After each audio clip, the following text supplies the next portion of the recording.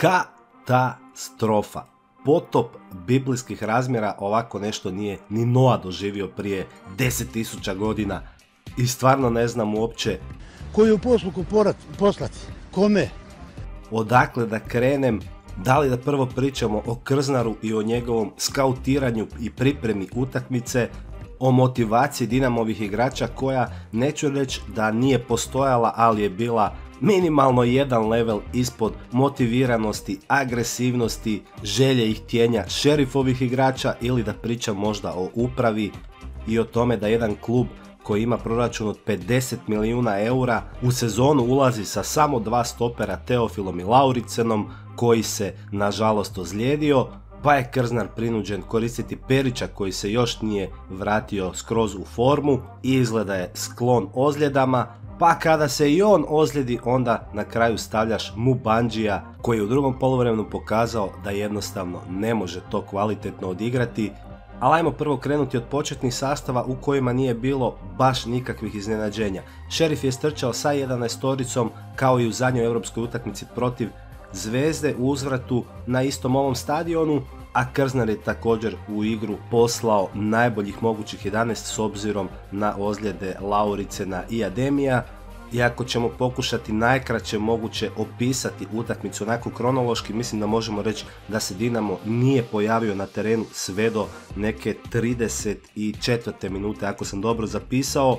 Plavi, to jest žuti, ušli su jako loše u ovu tekmu. Moldavci su od samog starta bili jako agresivni, kao da su htjeli pokazati tko je šerif na njihovom stadionu, a mislim da je prvi 45 minuta najbolje opisao Branko Strupar na poluvremenu u studiju kada je rekao da je svaka ona takozvana druga lopta završavala u nogama šerifovih igrača. Kada se tako nešto događa onda je jasno da je ekipa koja nosi te druge lopte puno motiviranija od ove druge. Zašto se to događa? Pa po nekom mom mišljenju kada se na terenu sretnu dvije, ajmo reći, otprilike podjednako kvalitetne ekipe, jedna od njih je izraziti outsider, što je naravno bio šerif na papiru, ta ekipa će automatski igrati puno opuštenije jer jednostavno neće imati što izgubiti. I ako ste pratili intervju prije utakmice njihov trener je rekao nama će ovo biti dobra prilika da odmjerimo snage sa jednom od pod navodnicima najboljih ekipa, time je želio reći da je Dinamo puno kvalitetniji od šerifa i dečki su izašli na teren u želji za dokazivanjem totalno rasterećeni dok je Dinamo naravno imao taj pritisak nakon tri možemo reći vrlo dobre europske sezone da će sve osim prolaska šerifa i ulaska u ligu prvaka biti veliki neuspjeh za ovu momčad.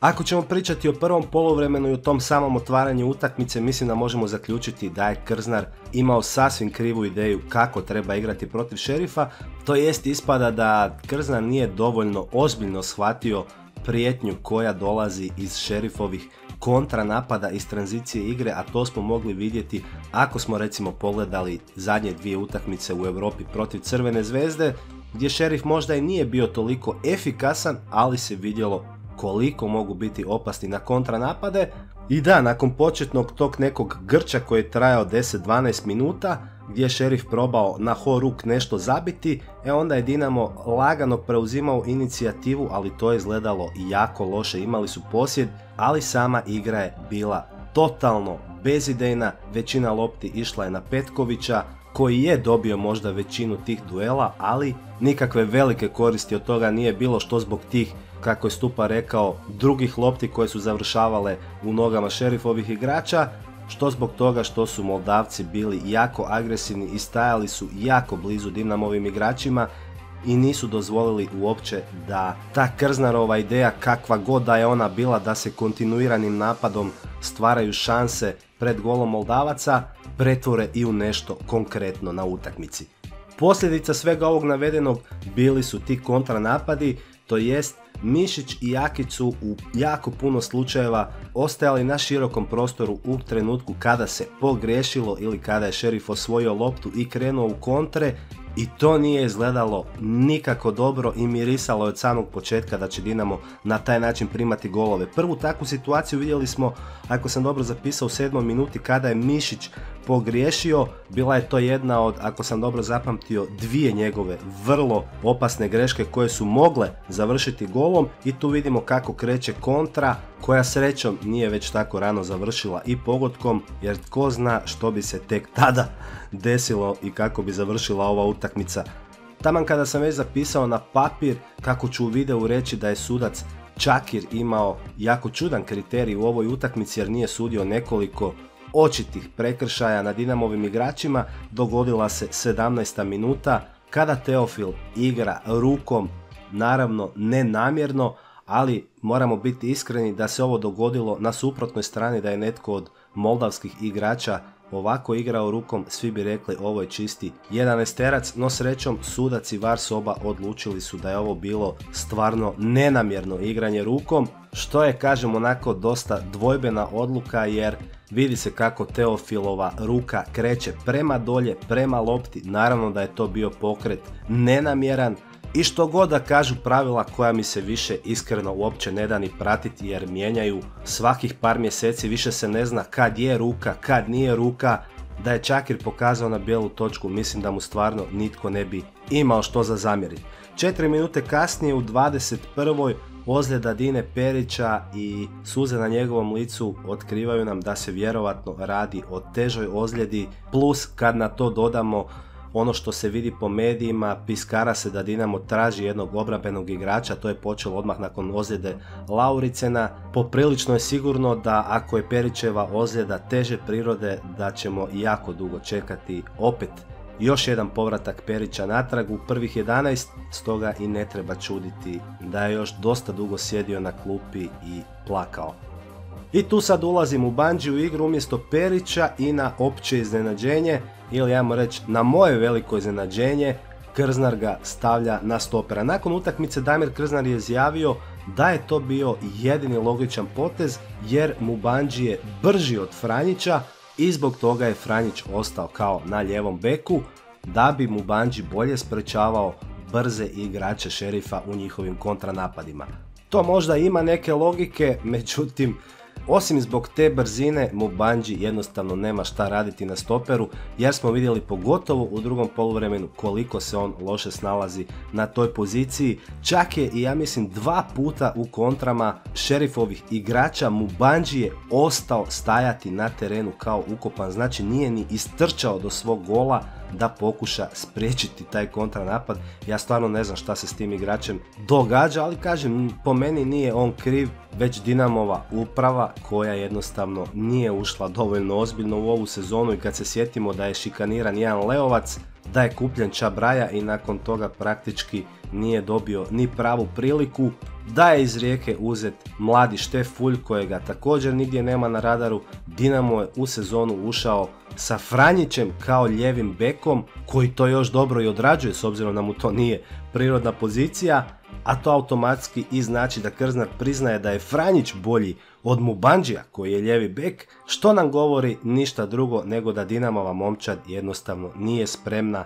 nije ozbiljno pripremljena za Europu, dok će to naravno biti dovoljno da u HNL-u vjerovatno uzmu prvo mjesto, međutim čim se u Europi dođe na malo ozbiljnijeg protivnika, plus još sve ozljede koje su momentalno aktualne u Dinamove slačionici, dobijemo upravo ovo što smo gledali sinoć. Tek u 34. minuti, ako sam dobro zapisao, Dinamo je stvorio prvu veliku pravu priliku pred golom šerifa, međutim Majeru je mrvicu pobjegla lopta i moraju uputiti udarac lijevom nogom što je bilo preslabo i po meni najbolji igrač jučerašnje utakmice Cristiano ili Chris Silva ukazao se da skoro na gol liniji i izbio loptu da ne završi u mreži i kad smo se već svi nadali da će napokon doći to poluvreme pa da će u slačionici Krznar nekako malo podići svoje igrače, da će u drugom poluvremenu izaći na teren. Neki novi Dinamo, onaj pravi Dinamo u 45. minuti, Šerif zabija za 1-0. Cristiano je napravio dar mar na ljevoj strani Dinamove obrane, preveslao je Franjića i na kraju gurnuo loptu koja je izbacila ne samo cijelu Dinamovu obranu, nego i cijeli vezni red Dinama te asistirao Traoreu za 1-0. Očekivao sam da će možda već na poluvremenu Damir Krznar povući prvi potez i izvaditi na primjer Mišića, ubaciti Gojaka ili mladog Bulata, međutim to se nije dogodilo. Krznar je ostavio sve kako je bilo i u prvom dijelu i ispada jednostavno čekao i dočekao da Dinamo primi još jedan gol u 54. minuti i koliko god da me ovaj gol boli, jednostavno moram priznati da je fantastičan. Ivan Ušec je ovdje zaspao i pustio Jan Sanea da neometano primi loptu u 16 tercu, slijedi nabacivanje za Kolovosa i spektakularno bušenje Livakovića. I onda tek 10 minuta kasnije slijedi prvi potez Damira Krznara, izlaze Mišić i Majer, ulaze Menalo i Gojak, što je po meni bilo dosta logično, iako se neki neće složiti sa mnom jer kao Majer je najbolji igrač Dinama i najkreativniji, međutim nije mi ovo jučer baš bila utakmica, to jest dan Lovre Majera i bilo mi je logično da se pokuša nešto. Ulaskom Gojaka i Menala, i tada se mislim i mijenja Dinamova formacija, Dinamo prelazi u 3-5-2 gdje se Jakić povlači na mjesto centralnog braniča zajedno sa Mubanđem i Teofilom, no kao što smo vidjeli ni to nije urodilo nekom značajnijom promjenom u samoj utakmici i na kraju Dinamo prima još jedan gol u 80. minuti. A najgore od svega po meni je što je šerif do kraja imao još nekoliko dobrih prilika i moglo je završiti još većim debaklom Dinama na ovom gostovanju. Ovako su, ajmo reći, sa ovih 3-0 šanse jesu realno poprilično male da Dinamo prođe dalje u uzvratu na Maksimiru, ali eto, neka nada još uvijek postoji.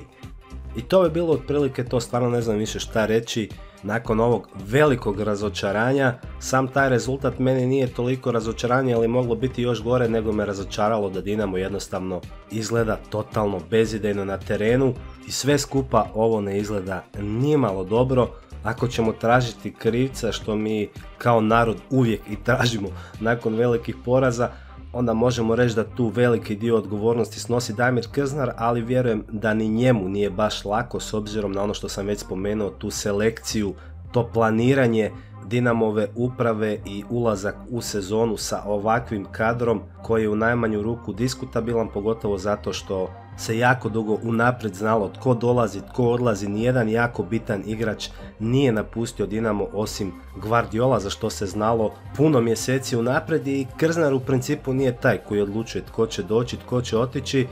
već znamo tko o tome odlučuje, tako da koliko god da je on možda i kriv, s druge strane ja ga ne bi baš previše pod navodnicima razapinjao i svaljivao baš sve na njega i eto ne preostaje nam ništa drugo nego da pričekamo još 8 dana, to je 7 dana i vidimo kako će se sve završiti u tom uzvratu protiv šerifa, ali po ovome što smo vidjeli jučer, mislim da za Dinamo bi bilo čak i puno bolje da se ni ne plasira u ligu prvaka jer bi tamo mogao doživjeti još malo teže poraze, pogotovo zato što se očekuje da će biti prodaja i da će neki igrači vrlo uskoro napustiti Dinamo čim ta utakmica uzvratna protiv šerifa prođe, vjerujem da će se objaviti da je prodan, ne znam, Majer, Petković, Livaković, a to će naravno onda uzrokovati nove, nazovimo ih, probleme za samu igru Dinama. To bi bilo to ekipa za ovaj video, hvala vam što ste ga pogledali, pišite mi svoje mišljenje u komentarima o ovoj utakmici, ovom biblijskom potopu